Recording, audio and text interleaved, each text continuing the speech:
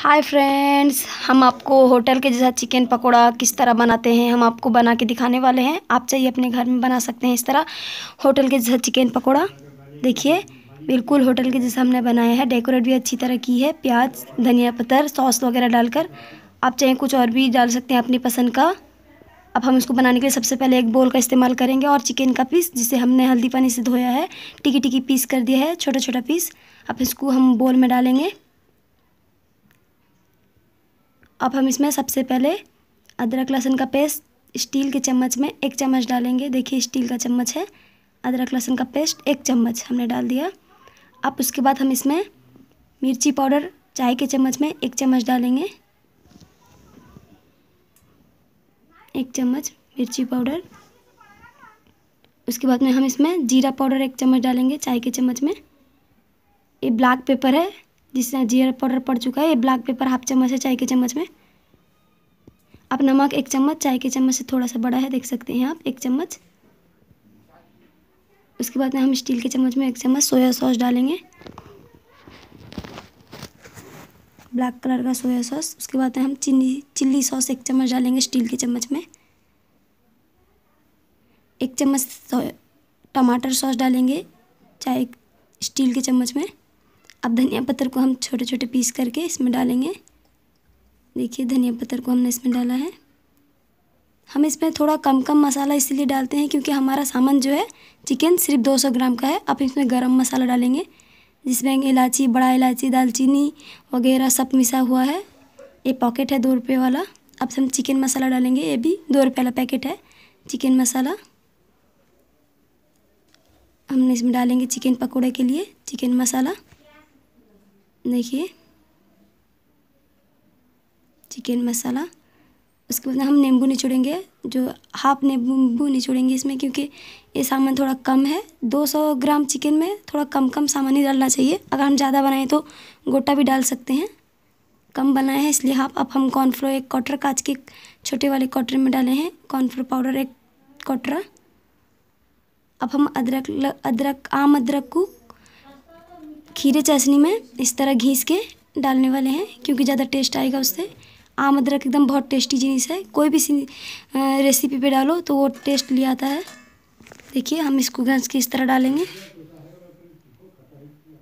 देखिए, हमने डाल दिया। अब सब सामान पड़ गया है। अब सिर्फ़ रंग डालना बाकी है। देखिए, अनुजा रंग रेड कलर का। रेड कलर डाले तो अच्छा लगता है। रेड कलर का पकौड़ा निकलेगा। रेड कलर हम डाल देंगे।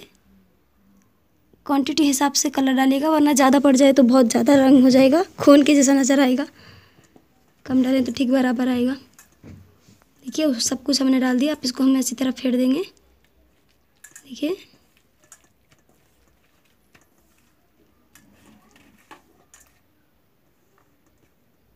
हमने फेंट दिया, उसको हम पाँच मिनट के लिए रख देंगे, कि थोड़ा मसाला मिस अंदर घुस जाए। अब हम एक गैस में एक कढ़ाई चढ़ाए हैं। देख सकते हैं नॉन स्टिक कढ़ाई है। अब हम गैस ऑन करेंगे। देखिए, कढ़ाई में थोड़ा सा पानी रह चुका है, इसलिए हम इसको थोड़ा हीट होके सूखने देंगे पानी को। क्योंकि तेल पड़े तो वो चढ़ चढ़ होके फटकने लगेगा। इसी के लिए, इसलिए हम थोड़ा देर इसको गर्म होने देते हैं अच्छी तरह। गर्म हो चुका है। हम इसमें तेल डालेंगे अब। हमने रिफ़ाइन ऑयल का इस्तेमाल किया है। आप चाहें तो सनफ्लावर भी ऑयल का ऑयल इस्तेमाल कर सकते हैं। देखिए, तेल हीट होने तक का गैस हाई लेवल में रखते हैं। देखिए, तेल हीट होके आ रहा है। हमने दो चम्मच ले लिया है। जाली चम्मच इसको बोलते हैं। एक बड़ा साइज़ एक छोटा साइज़ का। देखिए, तेल हीट हो रहा है। अब हम इसमें एक चिकन का पीस डाल के देखेंगे पकोड़ा बनाने के लिए, जो तेल गरम हुआ है कि नहीं टेस्ट करने के लिए। एक पीस डाल के फास्ट देखते हैं। देखिए। अब हम इसमें डाल के देखते हैं कि गर्म हुआ है नहीं। देखिए, तेल गरम पक चुका है, अच्छी तरह गरम हो चुका है।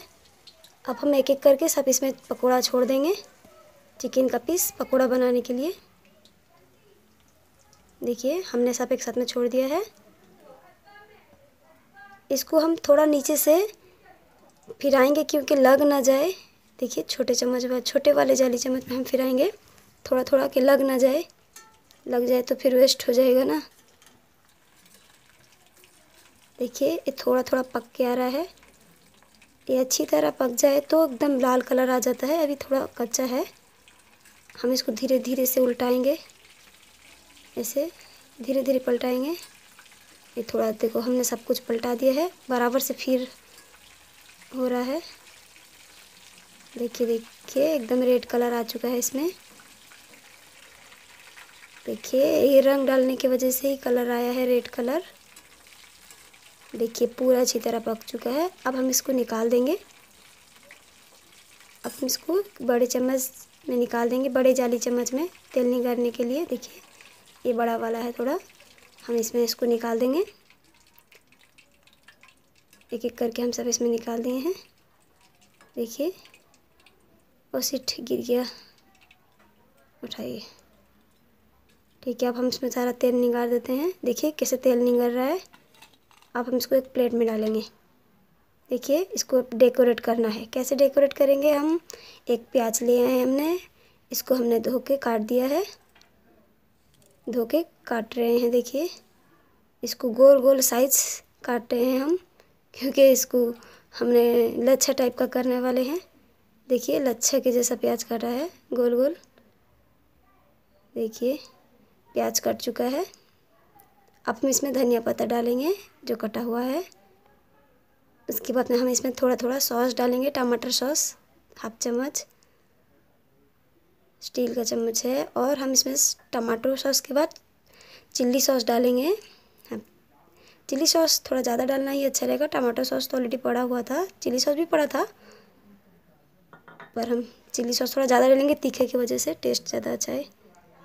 देखिए, हमारा जो होटल के साथ चिकन पकौड़ा रेडी है, देख सकते हैं आप। चिकन पकौड़ा बिल्कुल तैयार है, होटल के जैसा तो इसी तरह हमारे वीडियो को देखने के लिए हमारे यूट्यूब चैनल को सब्सक्राइब कीजिए और वेलाइकन भी दबा दीजिए। सबसे पहले हमारा वीडियो देखने के लिए